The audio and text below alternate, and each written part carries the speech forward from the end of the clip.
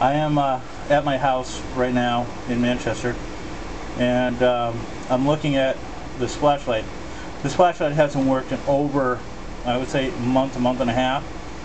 And right now, I am uh, seems to be communicating with something. I'm not sure what. Um, I checked the batteries. I've done everything. Um, I'm not sure what's going on.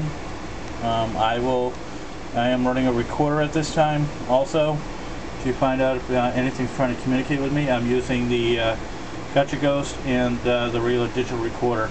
Um, let's see if anything's actually trying to communicate with me at this time.